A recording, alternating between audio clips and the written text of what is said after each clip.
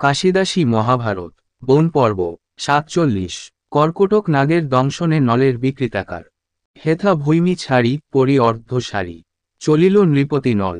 বায়ুবেগে ধায় পাছু নাহি ছায়, অঙ্গে বহে শ্রমজল দেখে হেনকালে দাবানল জলে। যেন ডাকে আর্তস্বরে বলয়ে পুণ্যাত্মা নল পোড়ায় মোরে অনল। রক্ষা করহ আমারে, শুনি নৃপবরে কহে উচ্চস্বরে স্মরণকে করে মোরে শুনি ফণিপতি, কহে নল প্রতি নিবেদি দুঃখ তোমারে, আমি নাগরাজ, অনন্ত অনুজ। কর্কট নামে ভুজঙ্গ, নারদের সাপে, সদ্য পুরী তাপে, অচল হইল অঙ্গ। নিষ্পাপ যে তুমি, তোমার স্পর্শে আমি, মুক্ত হইব সাপ হইতে।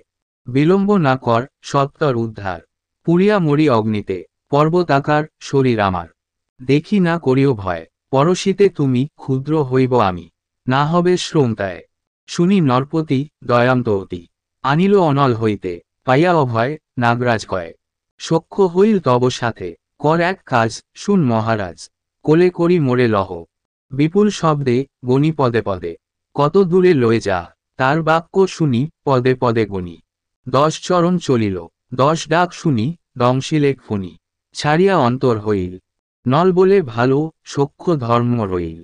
সখারে দংশন কর। নাহি দোষ তব জাতির স্বভাব। উপকারী জনে মার, বলে নাগপতি, না ভাব দুর্গতি। করিয়াছি উপকার। কুৎসিত মূরতি হইলে নরপতি। অঙ্গ দেখ আপনার, দুঃখের সময় কভু ভালো লয়। ভূপতি লক্ষণ রূপ, কেহ না লক্ষিবে, যথায় যাইবে। সে হেতু হইল বেরূপ। যবে ইচ্ছা মনে আমার স্মরণে, আপন রূপ পাইবে। না চিন্ত রাজন, তুমি পুণ্যজন। পুণ্য রাজ্যেশ্বর হবে। কলি বাম হইল, এ দশা সে কইল দাপর তার সহায়। মোর এই বিশ্বে কলি অহর্নিশে। জ্বলিবে জেনহ রায়, আমার বচন সুনহ রাজন। অযোধ্যায় তরা রায়, আমার বচন সুনহ রাজন। অযোধ্যায় তরা যাও, রাজা ঋতুপর্ণ পালে চতুর্বর্ণ। সারথি তাহার হও, বৈদর্ভী রূপসী তোমার প্রেয়াসী। আরও তনয় তনা, কুশলে ভেটিবে পূর্ণ রাজা হবে। নিষদ রাজ্যেতে গিয়া এতে কহিয়া বস্ত্র এক দিয়া। অন্তর্ধান হয়ে গেল। নাগের বচন শুনিয়া রাজন। অযোধ্যাপুরী চলিল। ভারত কমল, শ্রবণ মঙ্গল। সাধুজন করে আস।